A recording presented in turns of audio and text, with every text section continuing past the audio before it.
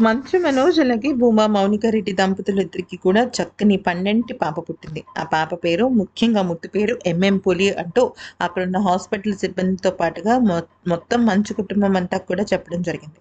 అయితే మంచు కుటుంబంలో విభేదాలు ఉన్నాయన్న సంగతి మనకి తెలిసిందే. దాన్ని పక్కన పెట్టేస్తే మంచు మనోజ్ భూమా మౌనిక రెడ్డిని పెళ్ళి చేసుకున్న తర్వాత ఇక కొద్ది రోజులకే వాళ్ళ ప్రెగ్నెన్సీ విషయాన్ని అందరి ముందు అధికారికంగా చెప్పాడు.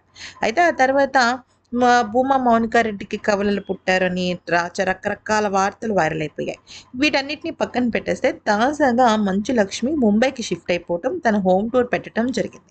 కానీ హఠాత్గా మంచు లక్ష్మి హాస్పిటల్లో ప్రత్యక్షమైంది హాస్పిటల్లో ప్రత్యక్షం అవటమే కాకుండా నా చిన్నారి మేనకోడని నేను చూశానని తన అచ్చు వాళ్ళ అత్తలాగే ఉందని ఎంతో హ్యాపీగా ఉంది అంటూ తను ఒక పోస్ట్ని కూడా షేర్ చేసింది.